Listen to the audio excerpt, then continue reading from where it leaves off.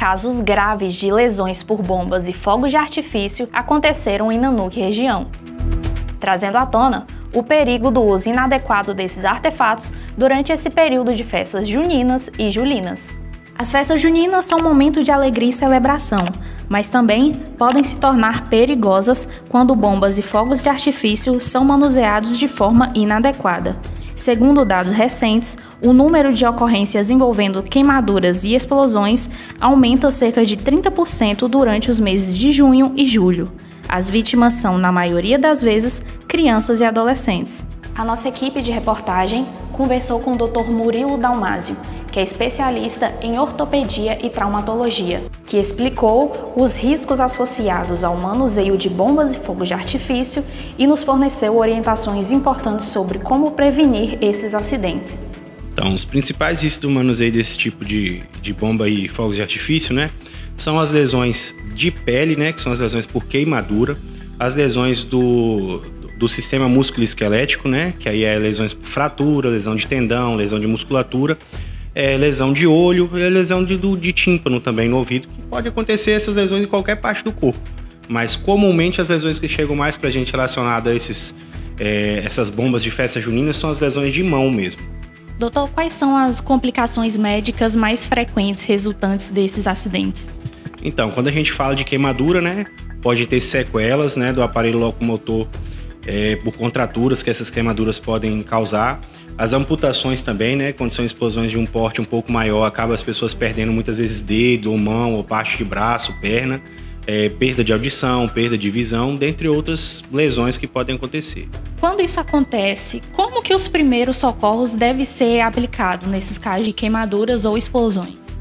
Então, na verdade, assim, existe um muito mito de população sobre o que fazer quando acontece queimadura ou não fazer nada do ponto de vista manter limpo e ligar para o socorro, pedir ajuda. No nosso caso, na nossa cidade, a gente tem o SAMU, é ligar para o SAMU para prestar socorro e levar para o hospital mesmo. Não tem que ser feito nada. Agora, se tiver algum profissional adequado no local, aí ele prestar o primeiro atendimento, tentar estancar o sangramento de alguma forma se tiver muito forte, mas a primeira medida é tentar ir para o hospital mesmo. O Dr. Murilo também compartilhou sobre um incidente que ocorreu há pouco mais de um mês em Nanuque, onde uma criança de apenas 6 anos teve a mão totalmente destruída por uma bomba. Então, infelizmente, essa lesão foi uma lesão muito grave, né, de uma criança que manuseou uma bomba onde ela teve a amputação de dois dedos. Né? A gente tentou reconstituir parte desses dedos e da mão dela, conseguimos salvar três dedos, mas é, não, ela ficou com essa sequela, né? A criança está bem, eu venho acompanhando ela, mas por consequência ela perdeu dois dedos e acabou perdendo o, o polegar, que é o principal dedo da mão que faz a oposição para o movimento de pinça, que é a principal função da mão. Então ficou com a mão bem prejudicada essa criança. Então, assim, ontem eu fiquei até de madrugada operando uma criança de 6 anos de idade que explodiu totalmente a mão dela, tá? Eu vou deixar as imagens aqui para critério de educação mesmo da população. Quem não gosta de ver, pula o vídeo porque as imagens são fortes, tá? Só peço para vocês, cuidado com as nossas crianças, isso é muito sério. É que essas cirurgias, cirurgias de mãos, elas, elas, são muito delicadas, né? Tem muitas estruturas anatômicas muito pequenas e aí o explosivo ele dilacera tudo. A gente perde a referência anatômica e tenta recompor ali o que dá. Mas a parte vascular fica difícil porque não é só a lesão mecânica da explosão. Tem uma lesão térmica também, que assim ela é como se cozinhasse toda, todas as artérias, tendões, eles perdem a viabilidade. Então, assim, acaba perdendo muita coisa, diferente de uma lesão cortante que a gente consegue recuperar. A lesão por explosivo ela é realmente muito grave e causa muita sequela. Em um incidente mais recente, um adulto também teve a mão gravemente ferida por uma explosão de bomba. O Dr. Murilo explicou que passou outra madrugada operando o paciente. Então foi um, foi um caso assim é, que foi muito próximo, né? Foi 35 dias depois um do outro e o primeiro vídeo eu postei até para alertar a população sobre a prevalência desse tipo de lesão na nossa região. Aí 35 dias depois acontece comigo de novo no mesmo plantão. E aí assim, foi um caso muito grave também, um caso que pegou toda a região tenar da mão e praticamente amputou o polegar dele, né? Eu tentei reimplantar, mas esse paciente depois eu precisei de fazer uma nova cirurgia e tirei parte do polegar dele. Ele perdeu parte do polegar, a mão dele não ficou totalmente reconstituída. Melhorou bastante, mas também foi uma lesão gravíssima, tá? É um paciente que trabalhava com a mão, né, pedreiro, e aí acaba ficando nessa situação de perder o polegar, que é o principal dedo da mão. O que, que difere em termos de tratamento e recuperação entre uma lesão causada por explosivos em crianças e em adultos? É, criança em si, o, o, ato cirúrgico em si é um pouco mais difícil, né? Porque as estruturas elas são menores, então numa mão onde as estruturas já são bem pequenas, na mão da criança é ainda menor. É, porém, a parte de recuperação, a plasticidade de recuperação da criança é melhor. A criança ela se adapta mais fácil ao adulto na parte de recuperação, mas todos dois vão ficar com sequelas definitivas, com certeza. Gente, trazendo aqui para vocês hoje mais um caso de explosão por bomba de festa junina, tá? É, há 36 dias atrás eu postei um caso bem grave desses, né? Repercutiu bastante. E agora eu tô postando de novo. Passei mais uma madrugada operando uma mão explodida por bomba. As imagens são fortes e sensíveis. Vemos aqui o resultado após a operação. Para aqueles que desejam ter uma visão ainda mais explícita do impacto desses acidentes, as imagens estão disponíveis no perfil do Dr. Murilo Dalmásio. Elas servem como um alerta importante para todos nós sobre a necessidade de manusear esses utensílios de forma correta. Assim, eu sei que essa questão assim na nossa região é uma questão cultural, né? E a gente falar sobre questões culturais é uma questão complicada. Mas a minha opinião é que não deveria haver esse tipo de manuseio, principalmente por crianças, né? Ou talvez haver alguma regulamentação sobre qual tipo de explosivo que não seria nocivo em caso de algum acidente, né? De explodir na mão, de não causar isso. Mas eu acho que não é feita essa regulamentação, não tem conhecimento suficiente para dizer se é feito ou não. Mas o que eu vejo como cidadão é que isso é vendido no meio da rua, nas esquinas aqui na Nuke. Então, assim, até onde isso aí vai continuar explodindo mão de pessoas. Todo ano, quando a gente está entre essa época de junho até comecinho de agosto, acontece esse tipo de lesões. Aparece no hospital esse tipo de lesões. A gente que é ortopedista já sabe que nas épocas de festividades juninas vão aparecer lesões por explosão. Todo ano acontece isso.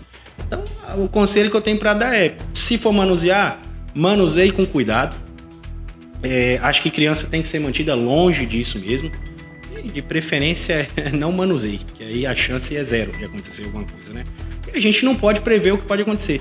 Esse último paciente, por exemplo, ele relata que acendeu e a bomba explodiu. Ele não teve nem tempo de jogar a bomba. Então, assim, não foi um caso que ele segurou por mais tempo que deveria. Provavelmente algum, algum defeito de fabricação de um produto que nem regulamentado era. Entendeu? Então, é, o melhor é não manusear. Esse é o conselho que eu tenho que dar a população.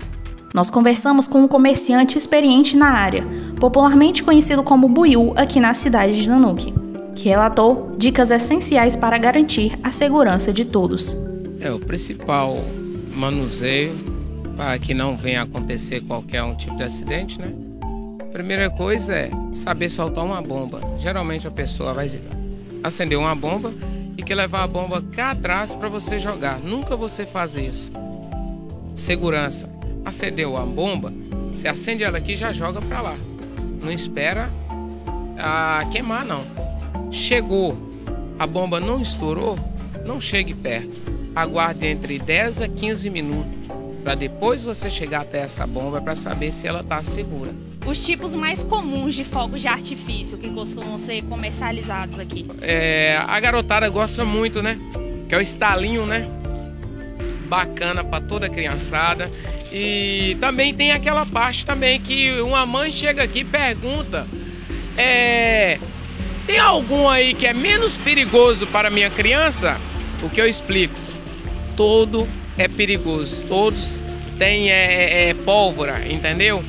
Todos é perigoso, então sabendo soltar, manusear de forma correta, não vai oferecer perigo, certo? Um estalinho desse mesmo, ele tem um perigo sim, mas se você é, manusear ele de forma correta, não vai oferecer perigo algum. Então, trate isso aqui também. A garotada costuma é, pegar e soltar na mão. Não é indicado também, apesar que não é muito perigoso, mas acendeu, joga para lá. Não fique na mão e nem joga no próprio coleguinha que estiver do lado. Ele destacou a importância de seguir rigorosamente as instruções de uso de cada produto.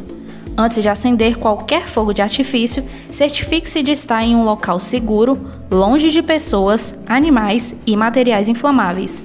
Tem a placa aqui, certo? Já comunicando que não vendo fogos para menores de 18 anos. O que eu vendo acima de 18 anos?